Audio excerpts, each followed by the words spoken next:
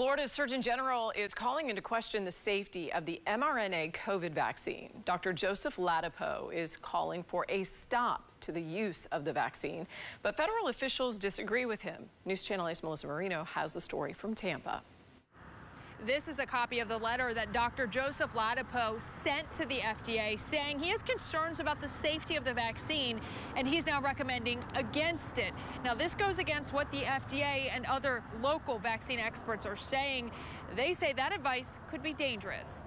In an unprecedented move, Florida's Surgeon General calling to halt the use of the mRNA COVID vaccine, going against the FDA. We continue to live in a world where the CDC and the FDA, uh, when it comes to COVID at least, are just beating their own path in a direction that is inexplicable in terms of thinking about data and thinking about common sense. Dr. Joseph Ladapo spoke on the issue a few months ago and December 6th sent this letter to the FDA, citing safety concerns and a case study that claims mRNA could cause cancer if a sequence of events happen. Dr. Thomas Unnasch with USF Center for Global Health Research says that's highly unlikely. One in several hundred billion that this would actually occur. The FDA sent this letter in response to Dr. Ladapo, saying the FDA is confident in the quality, safety, and effectiveness of the COVID 19 vaccines. Also responding to each of the Surgeon General's questions about the vaccine safety.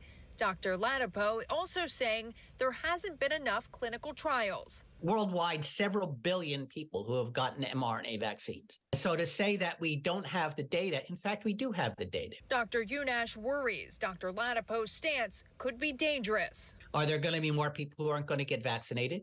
And as a result, uh, is particularly among the, um, you know, the at-risk groups, there are going to be people who don't get vaccinated, and then there are people who are going to end up hospitalized and die from the infection.